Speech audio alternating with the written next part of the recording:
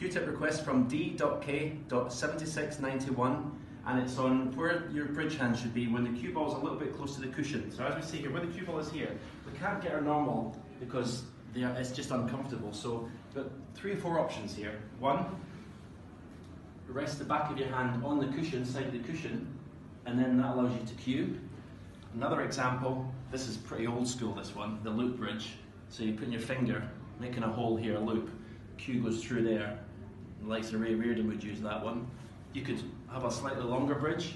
Again, you're resting your hand on the cushion, finger over the cue, or even bridge hand here on the cushion. Obviously, you're further away from the cue ball, but still able to deliver the cue in a straight line.